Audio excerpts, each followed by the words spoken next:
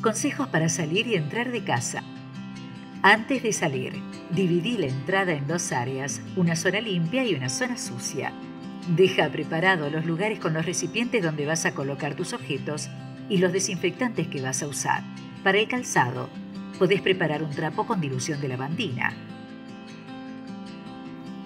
Deposita los calzados y los objetos personales en los recipientes. Retira el barbijo tocando solo las tiras.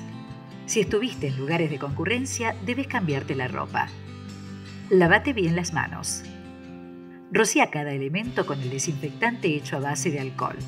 No te olvides de limpiar el teléfono celular. Desinfecta la bolsa y todos los objetos que vengan de la calle. Limpia todas las superficies que hayas tocado al volver del exterior.